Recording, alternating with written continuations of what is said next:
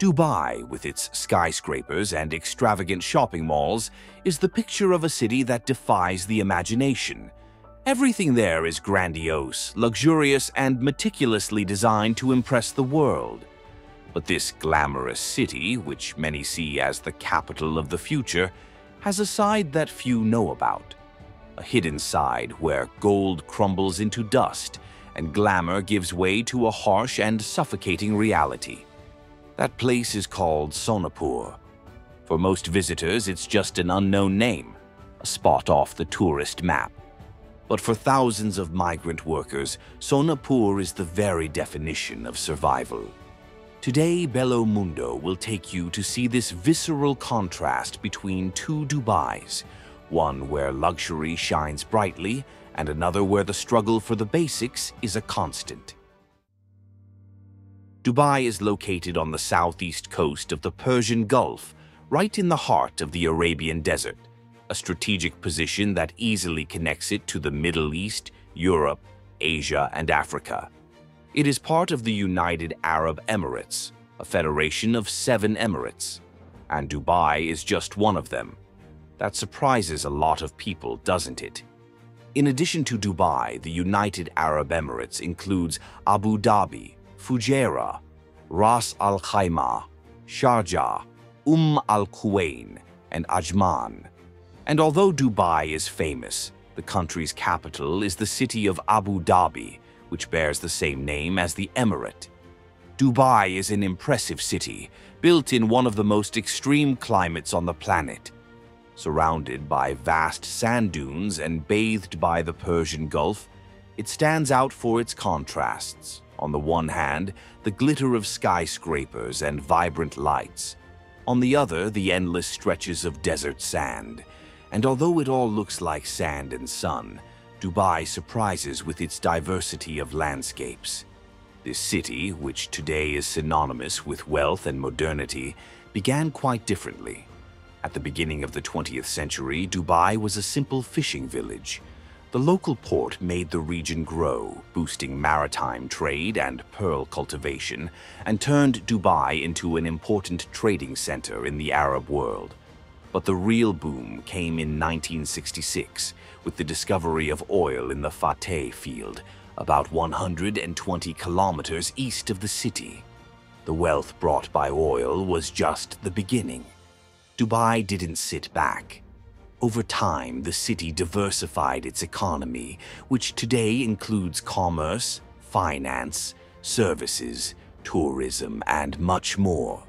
The result of all this effort is a city that no longer depends exclusively on oil and that reinvents itself every day. However, despite spending tons of money on transforming the city, these investments have been directed towards visual changes, while structural issues have been left aside. In fact, a clear example of this that has become world famous is the queue of pit trucks used to remove the sewage produced by the city. Although the images are old and much of the problem has already been solved, they serve to show that the government preferred to build the big buildings first and only then think about building the necessary infrastructure for them. Today, even if less frequently, Dubai still resorts to the tanker system, as the city's sewage system is not due to be completed until 2025. With its growth, Dubai has become a constant fixture in the world's top rankings, but many areas that were once fertile have been used for the construction of buildings and infrastructure. And guess what? The reduction in agricultural land is also being accelerated by desertification. In just 16 years between 2002 and 2018, Dubai lost 56% of its arable land, in other words, more than half. And this reduction was happening at the same time as the demand for food and other natural resources, such as water, was increasing. It's worth remembering that between 2004 and 2019, the city tripled its population from 1 million to the current 3 million and 300,000 inhabitants. In short, a series of misguided and poorly planned decisions. These factors combined increased the need to increase food production, and the country began to need imports to supply the population in an attempt to be as self-sufficient as possible. What about some curious figures? As we've just mentioned, Dubai currently has a population of over 3 million inhabitants, and believe it or not, almost 90% of them are foreigners. It's a city of mixed cultures where Islam is the predominant religion and luxury is the calling card. Today, Dubai is home to some of the world's greatest architectural icons. From the Burj Khalifa, the tallest building on the planet, to the artificial palm-shaped islands, the city is a showcase of modernity and opulence. Tourism is a fundamental economic pillar, and each new building seems to shout out, Welcome to the future. Now that we have the geographical and cultural context, let's get into what really matters. The Dubai you don't see in the tourist guides. And you know that expression from luxury to trash? It makes total sense here. Imagine crossing an invisible line. On one side are Dubai's five-star hotels, artificial beaches, and luxurious restaurants where tourists bask under the sun. On the other, an area that seems to exist in a parallel universe, where glamour gives way to the daily struggle for survival. And that place is called Sonapur, an accommodation that looks more like a prison. This is where immigrant workers live, those who build the Dubai of their dreams, but who inhabit a reality far removed from luxury and ostentation. Instead of the glitter of social media, Sonapur is a place of cramped shacks where everything is shared, from the rooms to the weight of an exhausting routine. After all, for everything to shine, someone has to pay the price, right? Literally, luxury versus trash. To understand how this division became so extreme, we need to go back in time a little. Back in the 1960s, Dubai was just a British protectorate, a fishing and trading village. It was a place where camel herders crossed the desert and life was modest. Until suddenly everything changed. Oil was discovered, transforming this village into one of the richest regions on the planet. The town was turned upside down and, like a modern gold rush, began to attract people from all over the world in search of opportunities. It was then that campaigns began to bring in workers from other countries. Today, around 85% of Dubai's population is made up of foreigners. They come from all over, South Asia, the Middle East, Europe, and even America. This melting pot of culture seems to make the city a unique place where there is room for everyone, right? And in a way, there really is room for everyone. But of course, some stay at the top, while others barely manage to stay at the bottom. In Sonapur, the life of the workers is a painful contrast to the luxury of the center. There, the houses are makeshift shacks, unfinished without doors or windows, where the heat is almost unbearable. In a city where temperatures reach 50 degrees, ventilation is minimal and cooling systems are a distant privilege. But then, why do these people accept living in these conditions? The answer is far more complex than you might think. Well, it's worth remembering that people who leave their respective countries are in search of better conditions, so many of these workers hope that with the money they receive, they will be able to support their families' studies and provide better living conditions for their families back home right? Well, unfortunately, there is a kind of mafia here. There are many companies that go to these countries, such as India, Pakistan, Bangladesh, and the Philippines, to hire workers and bring them here under the promise that they will have housing, food, transportation, everything they need, even medical insurance. But the reality is quite different. When these workers land in Dubai, they realize that the promises are just empty words. The much vaunted improvement in their lives turns into something more akin to slavery, disguised as a job. But you might be wondering why don't they just leave? Most of them lose their rights the moment they set foot in the United Arab Emirates. As soon as they arrive, their employers confiscate their passports and send them straight to Sonapur, where they are virtually isolated. And to make matters worse, local legislation is not on the side of immigrants. Dubai may have one of the lowest unemployment rates in the world, around 0.05%, but this hides a complicated reality. Those who lose their jobs have just 30 days to find a new occupation or they will be deported. In other words, for many, taking any job that comes along is the only way to keep going. And so these workers end up trapped in a cycle where they live with countless restrictions, saving the bare minimum to send some money to their families when they can. Most live in extreme need, struggling even to cover basic expenses. Want an example?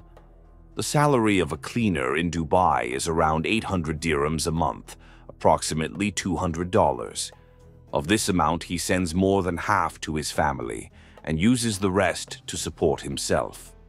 It may seem like an acceptable salary when compared to the minimum in some countries, but we mustn't forget that the cost of living in Dubai is very high.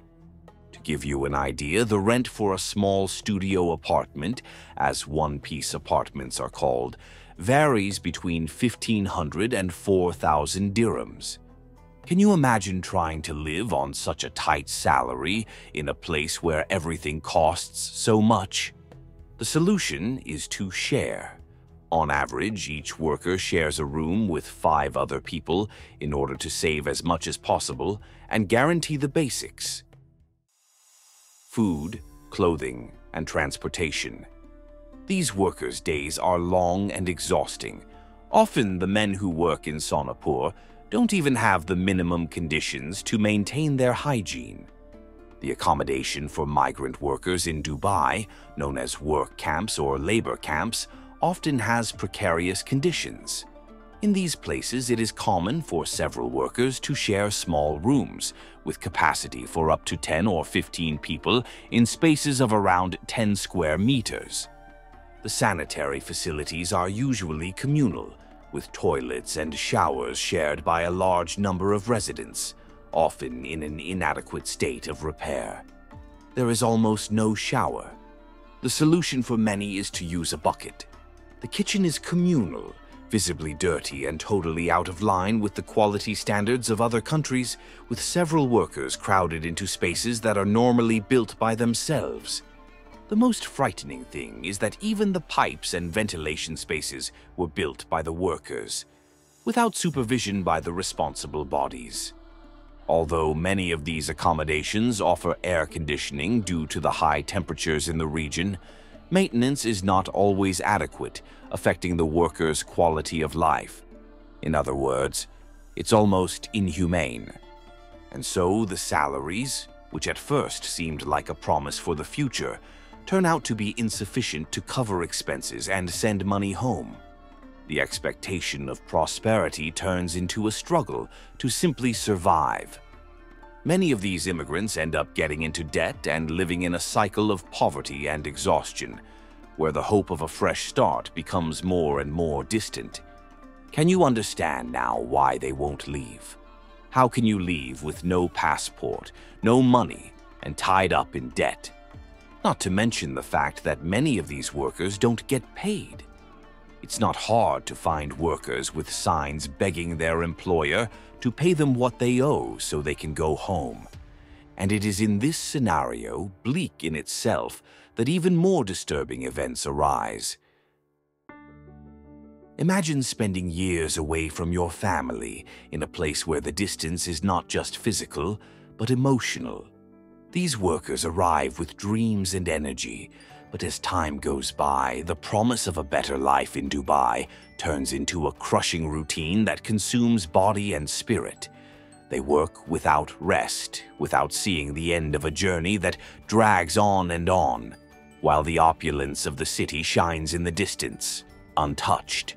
And it's not just the physical exhaustion. The mental battle is brutal. The loneliness is constant, the emptiness immense. many end up falling into a state of apathy in which every day seems the same, without color, without hope. That Dubai glow, which once represented a new beginning, is now a dense, suffocating shadow.